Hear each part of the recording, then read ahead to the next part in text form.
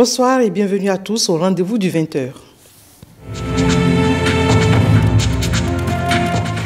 Séminaire de formation du Conseil international des radios et télévisions d'expression française à Cotonou, le CFOR 2019 a démarré ce matin. La production et l'information pour les radios et télévisions à l'aide du numérique, c'est le sujet en débat à cette rencontre. Quelles sont les nouvelles dispositions de la Constitution du Bénin et quels sont les avantages des modifications et innovations apportées?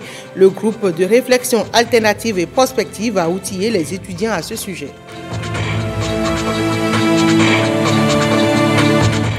La compagnie Air Taxi Bénin prouve son utilité et sa fiabilité. Elle a assuré le déplacement de Cotonou-Niki Cotonou de plusieurs membres du gouvernement. Ils ont pu ainsi honorer de leur présence la célébration de la Gani à Niki. Bonsoir, mesdames, messieurs. C'est fort 2019. Le top est donné ce matin pour trois jours. Deux travaux autour du thème principal comment penser la production et l'information pour les radios, télé et télé de services publics à l'ère d'Internet. La cérémonie d'ouverture du 24e séminaire de formation du Conseil international des radios et télévisions CEFOR a, eu lieu ce matin et a été présidée par le ministre de la Communication Alain Orunla. Nikano Kovi pour le reportage. Le Bénin est passé maître dans l'art d'écrire l'histoire des médias francophones. En accueillant pour la troisième fois les radios et télévisions de l'ère CIRTEF, Cotonou s'inscrit dans une tradition d'échange de bonnes pratiques entretenues au moyen du CEFOR. Cette édition 2019 est même celle de tous les enjeux dans un contexte de révolution digitale et d'émergence de nouveaux médias. Les médias audiovisuels publics baignent depuis plus d'une décennie dans un environnement qui a fortement muté du fait d'une nouvelle ère, celle du numérique en l'occurrence. Comment alors rester au sommet de la chaîne informative en n'ayant plus le monopole de la collecte, du traitement et de la diffusion de l'information? Le CIRTEF, avec l'organisation de ce CEFOR, se propose d'apporter des réponses à ces interrogations légitimes du moment. La résilience dans la rupture avec les médias traditionnels devrait s'accompagner de la mue de tout un système de production et de diffusion. Trois jours durant, des ateliers de formation vont y travailler et brosser le contenu des médias d'aujourd'hui et de demain. Trois jours au cours desquels des réunions plus stratégiques vont imaginer le potentiel nouveau visage d'un CIRTEF à bout de souffle. Cette rencontre sera marquée par un atelier stratégique réservé aux directeurs généraux des organismes membres ou à leurs représentants. Des formateurs qualifiés choisis par le CITEF partageront leurs expériences avec les techniciens de l'audiovisuel dont des agents de l'Office de radiodiffusion et télévision du Bénin. C'est vous dire combien ce séminaire représente un enjeu capital pour l'ORTB et pour le Bénin.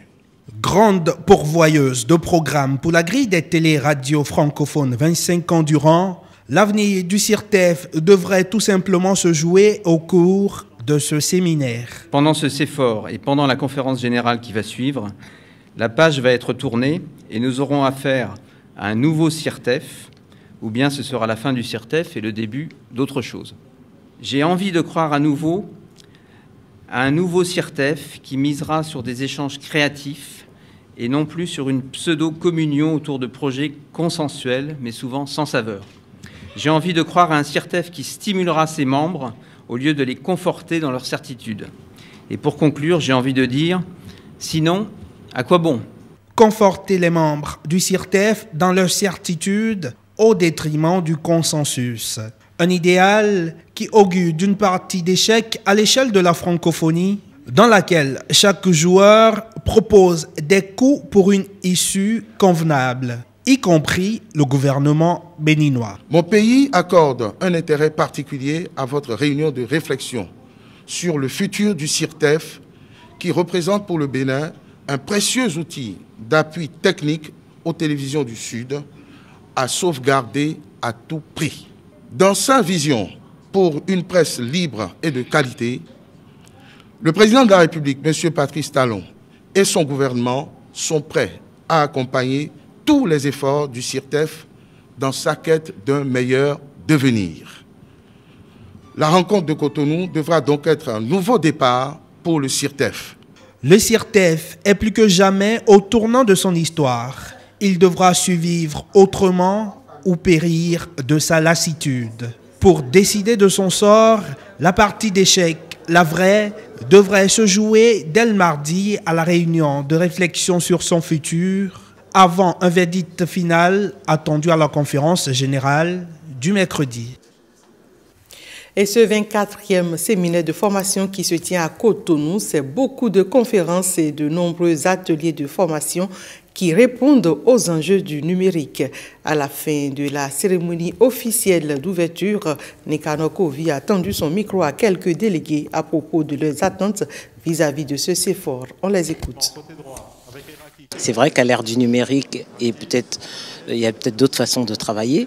Hein, de, changer les productions. On l'a entendu dans le discours euh, du représentant de l'OIF et de, penser à des productions qui répondent aux attentes des téléspectateurs aujourd'hui parce que à l'ère du numérique, on voit bien que le paysage audiovisuel sur le continent a changé avec l'arrivée de la TNT et qu'aujourd'hui les, les, téléspectateurs sont de plus en plus exigeants. Donc il faut pouvoir leur offrir des contenus qui répondent à leurs attentes.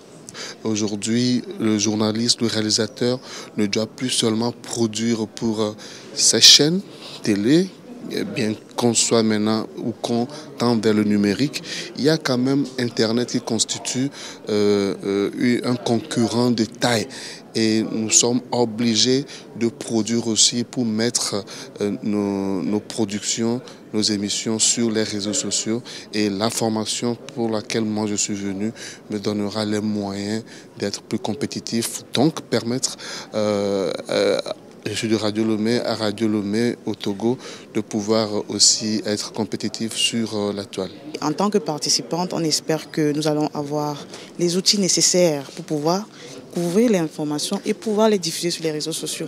On ne doit plus rester dans les médias classiques. Nous devons tous suivre le mouvement moderne. Donc, ce séminaire va nous permettre d'être formés, de pouvoir euh, diffuser l'information sur les réseaux sociaux et particulièrement pour nous les participants des, chaînes, nous allons euh, être formés sur l'information, la prise de son surtout avec les smartphones. Parce que d'habitude, on connaît les caméras, on connaît les micros, mais maintenant, comment utiliser son smartphone pour pouvoir fournir une information, bien euh, tourner un reportage? L'enjeu auquel sont confrontées toutes les télévisions publiques du monde, qu'elles soient au nord, au sud, à l'est ou à l'ouest, qui est la révolution numérique. Comment aujourd'hui nous situer en tant que télévision public dans le contexte numérique.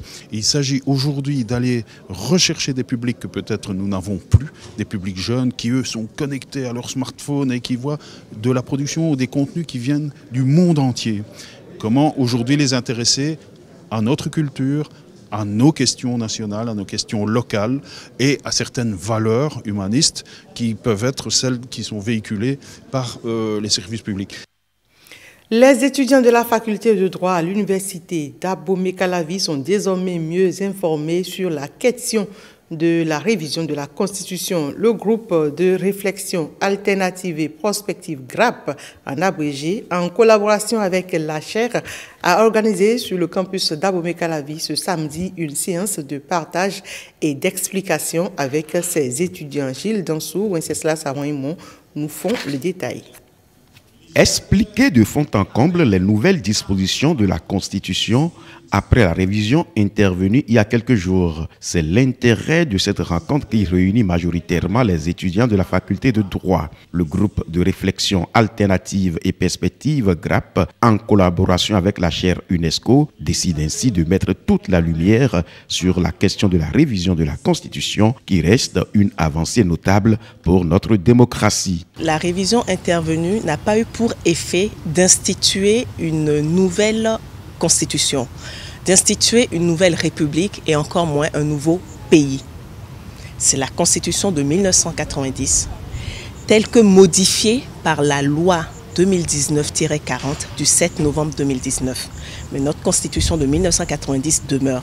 C'est un principe, un engagement fort du chef de l'État qu'il ne soit pas touché aux fondamentaux de notre Constitution, ce qui a été entendu par nos députés et ce qui a été fait ainsi. Les fondamentaux de notre Constitution sont demeurés et demeurent et continuent à nous porter. L'exercice qui a été fait, la révision intervenue pour ma part, nous permet de mieux rentrer dans la modernité, de répondre aux défis du développement et de ne pas consacrer euh, un clan, un homme à la tête de l'État. Nous avons procédé à une révision de la Constitution qui est un acte historique, notamment en Afrique, qui n'a pas eu pour objectif de consacrer quelqu'un à la tête de l'État. Bien au contraire, toute interprétation opportuniste de la Constitution ne peut plus avoir lieu. La révision de la Constitution, l'accélération du temps juridique, un thème bien approprié. Nous allons juger utile de mettre à la connaissance de, presque tous les assistants, enfin tout le monde euh, présent aujourd'hui, euh, sur les éléments phares de la Constitution qui sont des avancées énormes. Euh, la question de la représentativité des femmes euh, de, la population par les femmes, la question de la chefferie traditionnelle, euh, le duo qui existe entre le président de la République et le vice-président, des questions sur l'interdiction de la peine de mort que vous connaissez très bien. Et donc ce sont des éléments sur lesquels nous avons estimé qu'il faut apporter des réponses aux gens, au lieu que ces, ces, personnes, ou du moins des étudiants, ne supputent sur des choses euh, qu'ils ne comprennent pas. Parce que euh, quand on prend par exemple euh, le couplage des élections, l'année électorale, la fixité donc des élections, on se dit qu'il y a une belle avancée, il faut expliquer, il faut faire comprendre à tout le monde ce que cela comporte, sans oublier qu'il y a des intérêts économiques. En tout cas, le bénéfice fera beaucoup d'économie par rapport aux élections générales. Une séance assez bénéfique puisque les participants repartent mieux aguerris. Un meeting politique, c'est avec le député NSEJ Mendewanou qui a communié avec sa base par le détour d'un géant meeting qu'il a organisé le week-end dernier à Toviklin. L'élu de la 12e circonscription électorale a également expliqué aux populations sa conviction personnelle à travailler aux côtés du président Patrice Talon. Reportage. Soutenu par deux autres collègues, le député Ernest Medewanou sonne la grande mobilisation sur l'esplanade de la cour de l'école primaire publique centre de Toviklin. Son élection pour la huitième législature sous la bannière du parti Union progressiste témoigne de sa conviction aux côtés de Patrice Talon. Ma conviction personnelle d'entrer en politique, ce sont les ambitions et les actes de bravoure que pose le chef de l'État, son Excellence, le président Patrice Talon. Parce que nous n'avons jamais vu ça au Bénin. Tout le monde voit ce qu'il faut faire pour faire avancer le Bénin. Mais comme nous sommes tous des politiciens, personne n'a eu le courage de le faire. Donc je dirais en un mot que c'est le président Patrice Talon qui m'a inspiré. L'élection du 28 avril dernier s'est déroulée dans un contexte tout particulier, jetant de l'opprobre sur les députés de la huitième législature dans leur ensemble. Mais selon le député Ernest Medewanou, pour une population aussi fidèle à sa personne, cette rencontre se veut une séance d'explication et de manifestation d'un amour réciproque. Mieux, l'élu du peuple de Toviklin refuse de faire partie des députés qui s'illustrent dans la manifestation de l'ingratitude. Je suis venu aujourd'hui vous dire que je ne vous ai pas oublié. Vous avez fait de nous un député sans tâche. Pour que nous soyons des députés, vous nous avez accordé près de 45 000 voix. Et le troisième siège occupé par le bloc républicain a fourni 28 000 voix. Je vous remercie. La loi portant modification de la constitution béninoise, celle portant amnistie et les inondations, des sujets qui s'invitent au grand débat. Dans l'union et la cohésion, les populations de Toviklin entendent faire de leur localité une commune prospère. Elles sont convaincues qu'il faut désormais faire la politique autrement. Une politique au service du développement tel que le veut leur leader charismatique, Ernest Medewanu. Encore des hommages à feu Albert Tevoedre. Son attaché de presse témoigne. Il aimait les réseaux sociaux mais ils ont affecté ces derniers jours. Confidence de notre confrère Brice Ogoubi, celui qu'il qualifie de déchiffreur d'avenir, n'a hélas pas pu vu, venir sa fin. À quatre jours de, ses, de 90 ans qu'il s'apprêtait à célébrer, Brice Ogoubi revient sur les dernières circonstances de vie de l'ancien médiateur de la République, mais aussi sur le pédagogue, l'ami des jeunes et l'homme de foi aussi témoignage recueilli par Françoise Insou et Osias Sounouvou. Il a toujours été un activiste. C'est un communiste dans l'âme.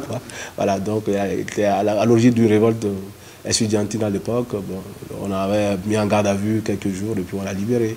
Voilà, donc euh, il avait une soif profonde de l'Afrique. Albert aussi, c'était aussi une pensée, c'était une école. Voilà. Et je crois c'est cette école qui a séduit beaucoup de jeunes, tout juste après la conférence nationale, surtout quand il a mis en place notre cause commune. Voilà, donc il faisait rêver la jeunesse. Voilà. Donc je me souviens avec les Bianzin, les secrétaires Lazare à l'époque, les William Sourou et beaucoup d'autres jeunes, même les, Joël et tous sont transités par là. C'était avant tout un pédagogue et un déchiffreur d'avenir. Il a quelque chose de plus que nous tous, d'ailleurs, c'est qu'il anticipe. Et cette capacité d'anticipation, parfois, peut débusquer sur des susceptibilités. On l'aime ou on l'aime pas. Il a déjà dit et il est passé à autre chose. Voilà. Puis, beaucoup de journalistes gardent un bon souvenir de lui parce que c'est lui qui a été mis du plan à l'époque qui a favorisé les spécialisations, les bourses de spécialisation. Moi, j'ai bénéficié d'une spécialisation en France pour faire du journalisme. Voilà. Il lisait beaucoup, il s'informait. Seulement les revues de presse, mais il était aussi attaché aux réseaux sociaux. Voilà. Bon, je crois que ça a été aussi fatal pour lui. Hein. Ça l'affectait parce que je dis, moi, j'ai été, j'ai fait ça, j'ai fait ça pour ce pays. Voilà il y a beaucoup d'incompréhension à ce niveau. Je ne rentre pas dans les détails. Hein, ah, l'histoire jugera. Voilà. et puis, elle avait une crainte de Dieu. Voilà. Je crois que cette crainte de Dieu l'a rapproché du monde catholique. Beaucoup plus. Et puis des religions endogènes également, de l'islam. La preuve, il a fini sa vie par le concept de dialogue interreligieux, interculturel. L'ONU va reconnaître le dialogue interreligieux comme une des, un des mécanismes de règlement des conflits. Parce qu'au-delà des militaires, des opérations militaires de la paix, pourquoi ne pas dialoguer aussi voilà. Il est croyant. Voilà. Il est très pur, hein, très croyant, même jusqu'à ces derniers moments, il avait toujours son crucifix, il avait la Vierge Marie, et puis il croyait beaucoup à cela. Il n'est pas un saint non plus, hein. bon, il n'a pas non plus la panacée à tout, il a ses défauts, il a sa part d'ombre comme tout homme. Les étudiants en gestion des risques et catastrophes des masters d'intégration régionale et développement de l'Université d'Abomey-Calavi pour joindre la théorie à la pratique ont séjourné trois jours dans la caserne des sapeurs-pompiers afin d'acquérir des notions sur les techniques de secours d'une personne en danger. La formation a ému les uns et les autres. Retour sur les temps forts de l'immersion chez les pompiers avec Axel Dancier, Wenceslas Samoïmo. 9 heures dans cette salle, le silence règne.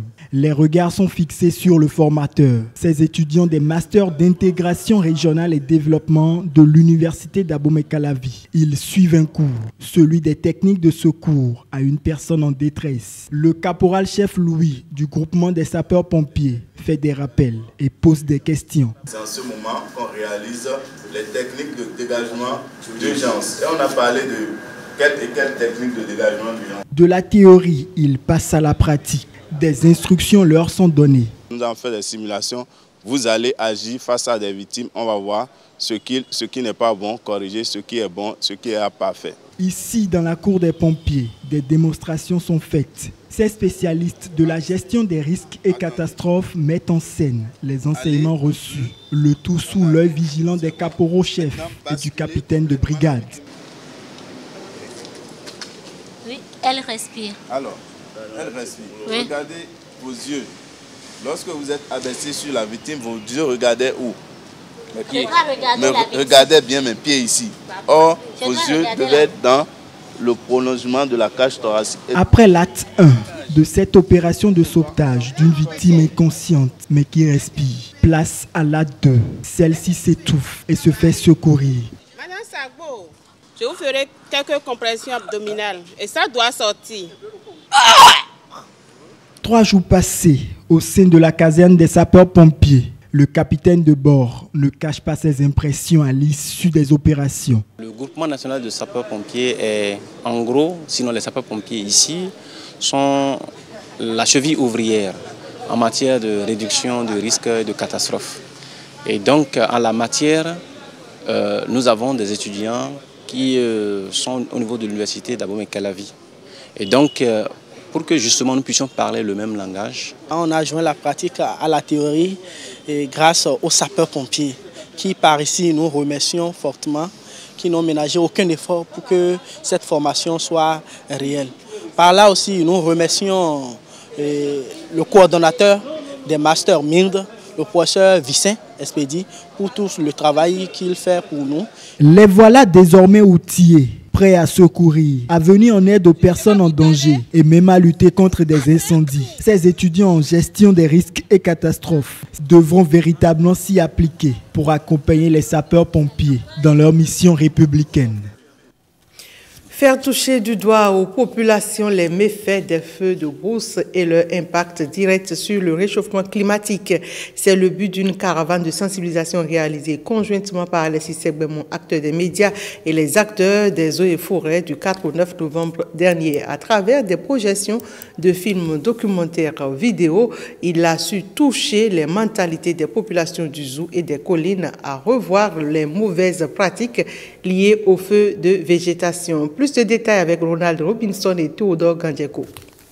Plus de 75 000 feux de forêt au Brésil depuis janvier 2010. Halte au feu de brousse. C'est le message fort de cet homme engagé pour la sauvegarde de l'environnement. Des communications et des projections documentaires choquent sur les impacts directs et climatiques des feux de végétation sur les forêts sont les armes de Alexis Segbemont. Ce cadreur et réalisateur combat les mentalités favorables aux feux de brousse. Sur le terrain, il est accompagné des acteurs des eaux et forêts et d'un représentant de IITA Bénin, ce centre régional de recherche et de formation engagé dans les moyens naturels de lutte contre les ravageurs. Au niveau des collines, après l'étape de la commune de Wessewagudo, Banté accueille la caravane. Ce qui est dramatique, c'est que nous avons hérité d'une pratique ancestrale qu'on appelle pacte de terre. Ça fait qu'on ne dénonce même pas les auteurs de ces feux criminels-là. Les pluies tombent jusqu'à aujourd'hui et les cultures même pourrissent sur les champs. Et tout ça, ça relève de, nos, de nos, comportements, de nos vilains comportements. On abat tous azimuts, on brûle tous azimuts. Et c'est ça qu'on veut faire comprendre aux populations locales. Ce qui s'est passé en Amazonie, on n'aimerait pas que ça vienne chez nous. Dans la commune de Savalou, c'est le tour des arrondissements Konkondi, Djaloukou, Logozohel, Laotan et Monkpa. C'est une activité que nous menons tous les jours. Mais quand ils ont su qu'il y a la télévision, ah, ils se sont trop intéressés à la chose. En regardant ce film, j'étais vraiment désolée. Nous allons désormais sensibiliser nos parents qui continuent toujours de pratiquer ce fléau. Nous nous donnons euh, le devoir de continuer à sensibiliser les nôtres. À cause du ranch phonique que nous avons à Dialokou et puis les plantations que Pagefcom avait aussi laissées dans la commune, nous avons tout intérêt à mettre le plus grand sérieux et à continuer la sensibilisation sur cette lancée. Dans le zoo, précisément dans la forêt sacrée de Tanzon à Djidja, cette caravane finit son périple avec les populations de Kengbe. Nous sommes en début de saison sèche. Nous avons fait des pare-feux avec euh, l'appui du, comité de gestion de cette forêt sacrée et également le cantonnement forestier de Djidja. Pour Alexis Segbemont, cette sensibilisation est une alerte. Les feux de végétation, ça nous amène progressivement à la dérive. Je vais profiter de cette occasion pour remercier le directeur général de INRAB, le directeur scientifique, le ministre de, cadre de vie, la direction des eaux et forêts. Loin du grand destructeur comme il est présenté au cours des communications, le feu, quand on sait s'y prendre, est aussi un outil de gestion qui protège les forêts. Une dizaine de membres du gouvernement ont honoré la célébration de la Gani édition 2019. Une fois encore, la compagnie de transport Air Taxi Béné a assuré le voyage de 16 hôtes de la République. Suivant le public reportage signé Jérôme Humbo et Patrick Nimavon. Ce dimanche 10 novembre, le vol Air Taxi Bénin foule le sol de l'aéroport de Cotonou. À bord, les membres du gouvernement et les autorités de retour de la fête de la Gani au nord du Bénin. Certains font l'expérience pour la toute première fois. C'était pour aller participer à la fête de la Gani à Niki. C'était ma première expérience avec Air Bénin. Je peux dire que je suis très satisfaite euh, pour le premier baptême d'air pour une ligne interne. Euh, c'est une opportunité pour nous les Béninois d'avoir cette ligne interne-là. Le vol a été ponctuel aussi bien à l'aller qu'au retour. Euh, c'est bien déroulé sans aucun incident, dans de très bonnes conditions. L'équipage de pilotage aussi professionnel.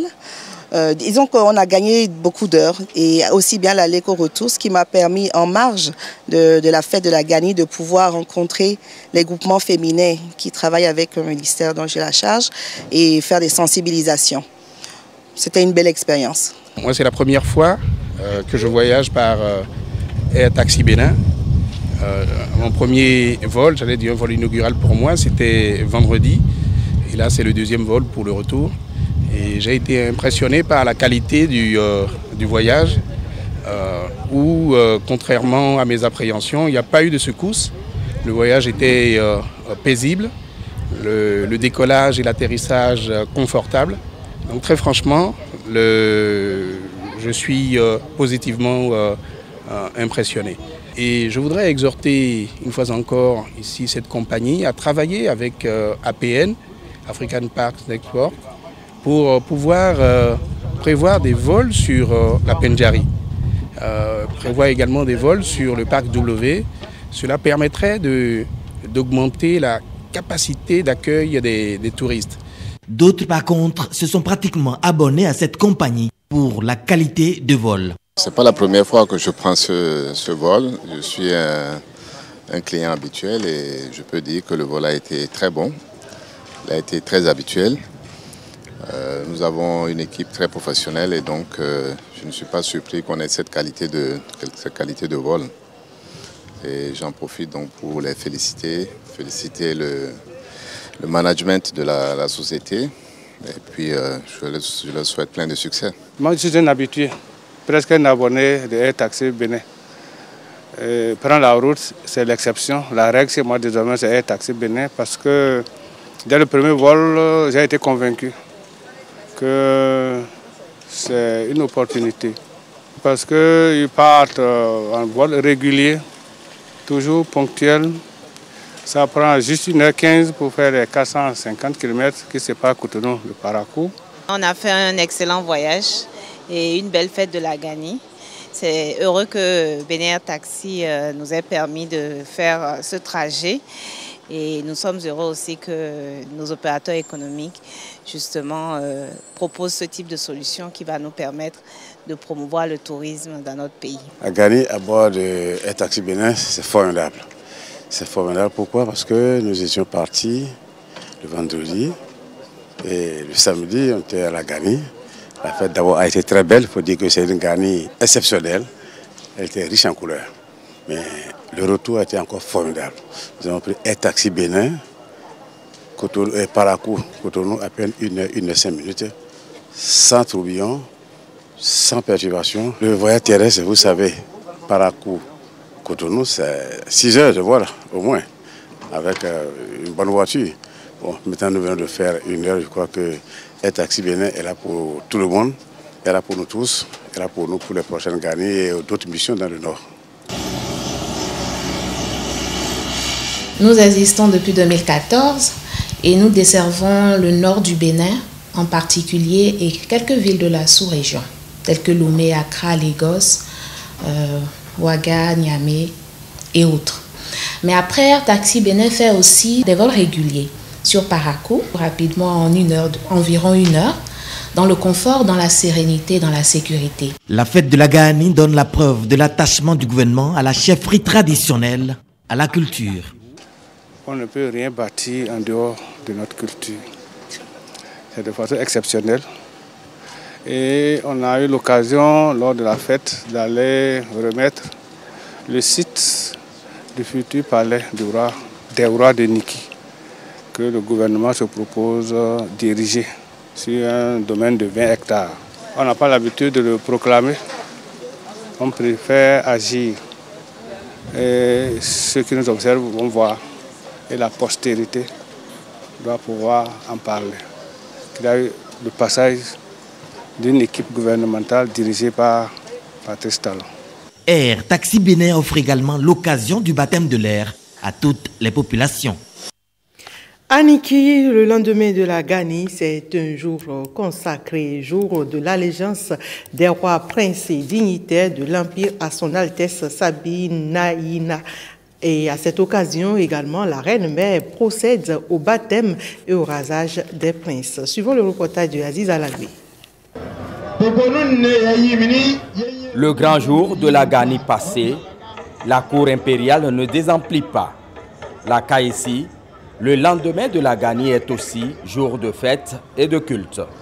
Rois, chefs traditionnels et dignitaires viennent faire allégeance au Sinaboko, Sabina Ina III. C'est le lieu de constater, de remarquer la présence de tous les autres rois et chefs traditionnels. C'est à la Kaïsi, ça doit se voir. Tout ce qu'on fait, on allait saluer l'empereur, ça là, ce n'est pas d'abord important. Mais à la Kaïsi, on doit les appeler nommément par leur nom de trône. Chacun passe devant l'empereur, il lui fait allégeance. Et c'est là où l'empereur est satisfait. Il dit, mon, pouvoir est reconnu. Le pouvoir est respecté. Chacun est venu de son palais pour venir se présenter et lui faire allégeance. Et chaque roi aussi veut avoir les bénédictions de l'empereur. Il est venu, il faut qu'il se présente. La Kaïsi est également le jour du conseil annuel des rois et chefs coutumiers. Les grands sujets de l'Empire y sont débattus. L'événement met aussi en exergue le pouvoir de la femme. La Kogi, la reine-mère, utilise son rasoir. Princes et princesses de l'Empire viennent solennellement se faire baptiser lors de la cérémonie de rasage. La seconde manifestation importante, c'est la journée de rasage qu'on appelle kon. Kon, c'est le couteau qui sert à raser. On ne dit pas Nyon Kogi, ce n'est pas habitude de langue, c'est Nyon Kongi. Elle est la sœur aînée du roi qui est chargée de donner le nom traditionnel à chaque prince. On ne rase pas un bariba le jour de Gadab, on ne rase pas une autre ethnie. C'est les princes, tous ceux qui sont issus de la dynastie Makararu, Koraru, Sissé, euh, les cinq dynasties c'est leurs enfants qui sont chargés. C'est pour cela que aujourd'hui, chaque enfant qu'on doit raser doit être accompagné d'un saille, d'un dignitaire, pour qu'il puisse témoigner de l'authenticité, de l'originalité de l'enfant. On ne rase, on ne rase pas un enfant impur. C'est la race de enfant de race pure qu'on amène. Si tu amènes un enfant qui n'est pas issu de la dynastie eh bien, ça a des conséquences graves sur l'avenir de l'enfant. La KSI s'étale sur plusieurs jours pour ensuite faire place à la Gani de la Yonkogi, un autre moment de grande réjouissance. Parlons à présent de ce phénomène que beaucoup ignorent, le syndrome d'apnée du sommeil. C'est un trouble du sommeil caractérisé par un arrêt du flux respiratoire et c'est d'ailleurs un sujet qui préoccupe le club des optimistes du Bénin qui, à l'occasion de la célébration de ses 30 ans d'existence, l'a fait savoir lors d'une conférence publique le vendredi dernier. Reportage. Né au Bénin depuis 1989, le Sort Optimiste International est une association de femmes professionnelles engagées au service des couches vulnérables et démunies. Pendant 30 années de parcours, sept clubs ont vu le jour pour œuvrer aux côtés des femmes et des enfants afin de leur donner un ouf de soulagement. Ensemble ou séparément, autour de notre devise, comprendre, défendre, entreprendre, les sœurs optimistes ont initié des activités qui touchent plusieurs domaines de la vie. L'éducation des filles, la clé du développement. La formation professionnelle des femmes et la mise en place des activités génératives de revenus pour leur autonomie financière. Le soutien à certains programmes visant l'amélioration de la santé de la mère et de l'enfant. La lutte contre le paludisme, le VIH-Sida, lutte contre le cancer du sein et du col de l'utérus, et j'en passe. Le ministère en charge des Affaires sociales se réjouit ici de cette collaboration qui existe entre le Sort Optimiste International et le Bénin. Ces femmes engagées se battent pour des objectifs communs. Notre collaboration au cours de ces 30 dernières années a porté sur des actions pertinentes, multiformes et multidimensionnelles, qui visent toute l'amélioration de la vie des femmes, ployant encore sous la pénibilité des tâches ménagères, professionnelles et maternelles dans notre pays. C'est à travers une conférence publique que ces sœurs optimistes veulent marquer leurs 30 ans de vie. Conférence au cours de laquelle plusieurs thèmes seront abordés. Parmi ceux-ci, le syndrome d'apnée du sommeil, un ennemi caché selon les spécialistes.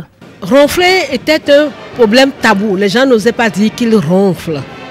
Aujourd'hui, il faut que ces personnes-là se déclarent ronfleurs et que les médecins apprécient si ce ronflement est néfaste pour leur santé ou si ce ronflement est simplement mécanique. Grossesse précoce en milieu scolaire, intoxication des enfants à bord des écoles et ailleurs sont autant de préoccupations qui vont meubler cette conférence. Les populations de la commune de Ndali et celles des autres communes environnantes peuvent désormais effectuer en toute quiétude leurs opérations bancaires sans rallier par à coup. La quatrième agence Bank of Africa Bénin dans le Borgou a effectivement ouvert ses portes dans la ville carrefour de Ndali. Alexis Assoba, Samira Tchabimane pour le reportage. La Bank of Africa Bénin continue de renforcer sa position de leader au Bénin.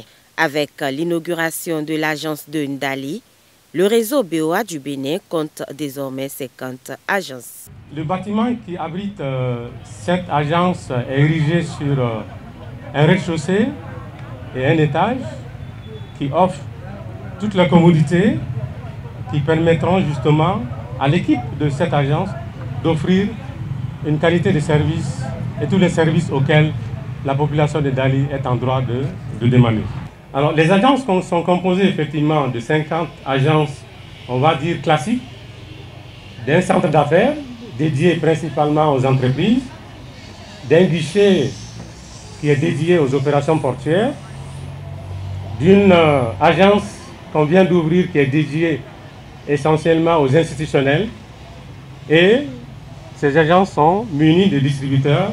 On a un réseau de 82 distributeurs d'argent. Le chemin a certes été long, mais l'issue ravit tous les cœurs. Une banque, c'est un outil de développement. Et tout le monde sait combien euh, les populations de Mbali sont dynamiques euh, dans le domaine du commerce, dans le domaine de l'agriculture. Ce qui compte, c'est la fin. Aujourd'hui, nous sommes devant la belle agence BOA de Ndali donc euh, je suis très très ravi et que cette banque-là prospère.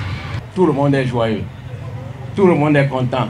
Et soyez sûr, monsieur le directeur général, la BOA Ndali va prospérer et va dépasser ses aînés en chiffre d'affaires. Ouvrir des agences de proximité avec des services et des produits qui sont à la hauteur des attentes de la clientèle, telle est la vision de la BOA.